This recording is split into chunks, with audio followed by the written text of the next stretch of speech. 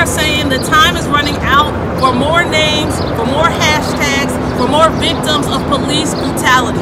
For anybody, whether they're in Philadelphia or whether they're in Erie, Pennsylvania, people of color know the stress and apprehension of when we see red and blue lights shine in our cars. We know the stress and apprehension when we roll our windows down and we put our hands out the window and we're hoping we can get home to our families that night and that everything goes safely. I know what it feels like to be on the turnpike and wonder, will I make it to the state capitol because of my speed or will something else happen? My neighbor and I spent an hour yesterday talking about him and his truck and how he feels, how he gets stopped immediately, often, and how difficult that situation is. So we need change. We need change in the laws. We need change in police contracts. We need change here in the city. And we're calling on the governor, we're calling on the mayor, and we in Harrisburg are calling on our fellow colleagues to say it's enough. We don't want to see what we saw happen to George Floyd. We join with his brother and say it's not just a reason to rise up